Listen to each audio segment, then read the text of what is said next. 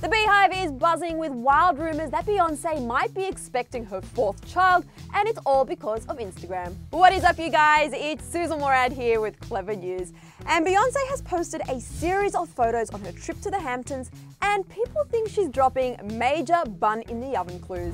Most notably, that she's kind of covering her stomach in one of them. People think she's hiding a baby bump under there. But a pair of crossed arms and designer handbag isn't the only clue that's got the hive buzzing. People say that the purple signifies royalty, but you know, it might just match the flowers that she found around her vacation home. Someone commented on her photo saying, We've been saying mother is pregnant. She's been dropping clues the entire album.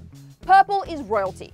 Simba, king, son. The lion's curled up like a fetus. There's so much more, but remember, we said it. I gotta say, Beyonce signed on to the Lion King movie a long time ago, like 2017, a long time ago, and coordinating your voiceover role to be released around the same time that you're starting to show signs of pregnancy is pretty elaborate. But too elaborate for Beyonce?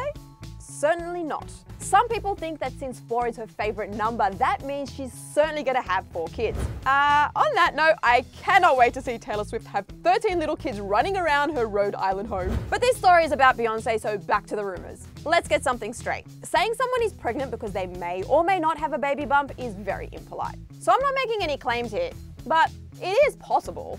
I mean, her twins are just over two years now, and Blue Ivy is seven, so now could be a good time to have another kid if that's what the Carters want. Another clue? Well, back in late July, she was spotted wearing the same Lorraine Schwartz cuff that she wore the night she revealed that she was pregnant with Blue Ivy, which was a gift from Jay-Z. But she didn't make any revelations that day, and weeks later, she still hasn't. I'm not saying her re-wearing a cuff wasn't a sign. It might just be a sign that she's being thrifty and re-wearing some jewelry, because you know it does cost a pretty penny. So yeah, she's got her hands close to her stomach and is wearing a couple of old pieces of jewelry. But I'm not quite ready to confirm that she's actually pregnant.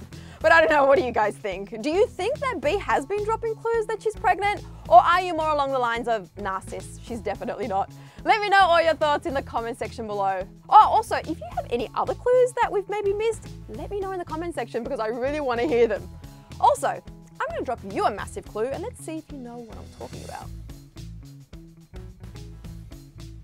You know exactly what I'm talking about, right? The subscribe button, you guys. Hit that subscribe button and also hit the bell and that way you'll be notified every single time we post. Then when you're done, you can also catch up on all the latest tea right over here. I'm Sussan Mourad. Thank you for hanging out with me, guys, and I will see you later. Bye.